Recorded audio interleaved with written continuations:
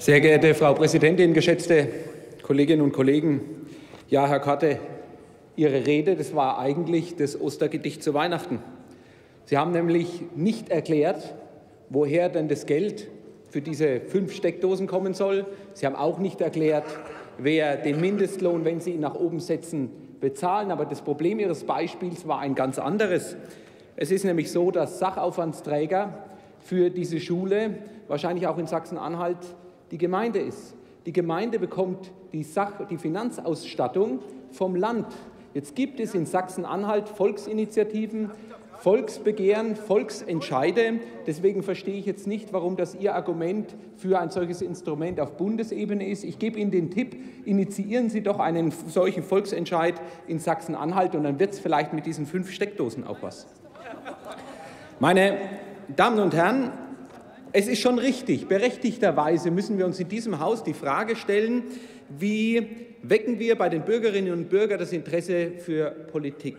Wie steigern wir die Wahlbeteiligung? Das ist richtig, Herr Castellucci. Und wir müssen uns auch die Frage stellen, wie vermeiden wir bei diesen Menschen in dem Land, dass sie das Gefühl haben, die da oben entscheiden sowieso über unsere Köpfe hinweg. Wie gelingt es uns, dass sich die Bürgerinnen und Bürger dieses Landes in den politischen Entscheidungen wiederfinden? Die spannende Frage ist aber, ermöglicht das dieser Antrag? Und Herr Castellucci, das war ja ähnlich Ihr Ansatz, aber auch Sie sind diese Antwort schuldig geblieben. Denn Sie haben auch Bundesländer benannt, haben dort die niedrige Wahlbeteiligung beklagt, aber das alles sind Bundesländer, wo es eben plebiszitäre Elemente gibt. Und deswegen möchte ich heute auch in der Rede genau mal auf die Zahlen rund um plebiszitäre Erfahrungen in Deutschland eingehen. Ich habe dazu als Beispiel Bayern genommen. Sie wissen, in Bayern gibt es ähm, Volksbegehren und Volksentscheide schon seit 1946, seither 20 Volksbegehren, 19 Volksentscheide.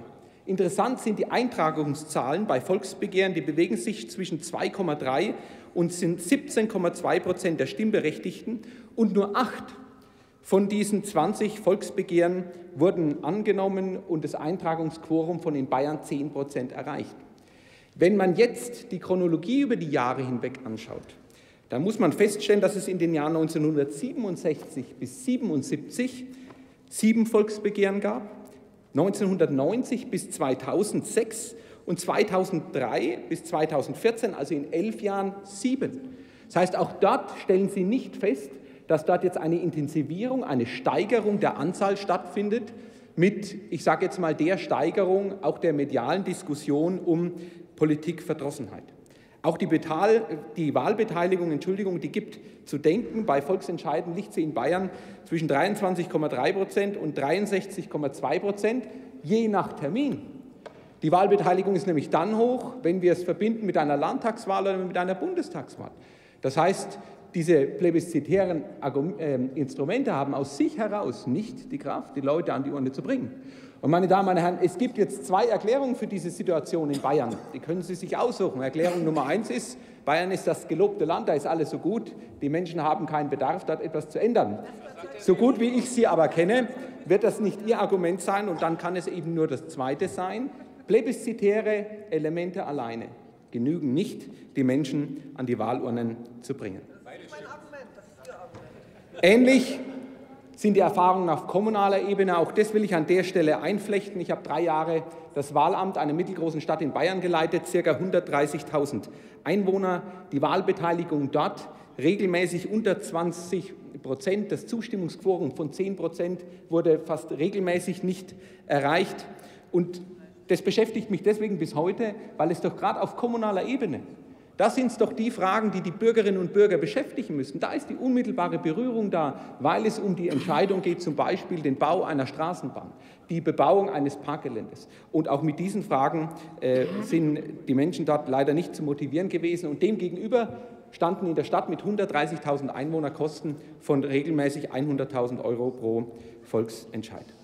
Trotzdem glaube ich, wir müssen uns auf Bundesebene durchaus Gedanken machen. Aber ich sage Ihnen, drei Dinge dürfen uns nach meiner Einschätzung dabei nicht passieren. Zum einen brauchen wir darüber hinaus politische Stabilität.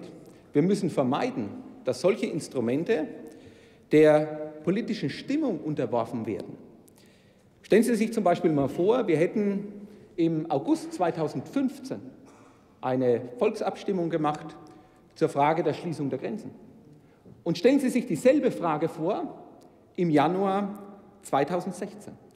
Damit uns das nicht passiert, es ist angeklungen, brauchen wir Quoren. Wenn man dort aber Ihren Gesetzentwurf anschaut, dann besteht dort vor allem eine Gefahr, nämlich dass Minderheiten die Mehrheiten regieren. Und wenn ich Ihre sozialistische Kampfrede von vorhin noch in Erinnerung habe, Herr Korte, sind Sie mir nicht böse, aber dann bewahre uns Gott davor. Denn bei Ihnen kommt ein Volksbegehren zustande, wenn eine Million der Wahlberechtigten sich in neun Monaten einträgt. Jetzt klingt eine Million wahnsinnig viel. Wir haben in Deutschland circa 64 Millionen Stimmberechtigte, dann sind das gerade mal 1,56 Prozent. Hätten Sie 1,56 Prozent reingeschrieben, wäre jedem beim ersten Durchlesen klar geworden, was Sie hier für ein Instrument etablieren wollen, nämlich genau ein solches, wo die Minderheit am Schluss die Mehrheit regiert.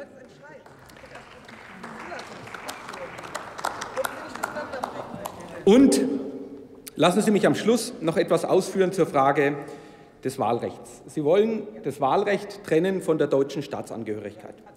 Und ähm, ich warne deshalb davor, weil wir in Deutschland einen untrennbaren Zusammenhang haben zwischen der deutschen Staatsangehörigkeit und staatsbürgerlichen Rechten. Wir haben staatsbürgerliche Rechte wie das Wahlrecht und dem stehen staatsbürgerliche Pflichten entgegen.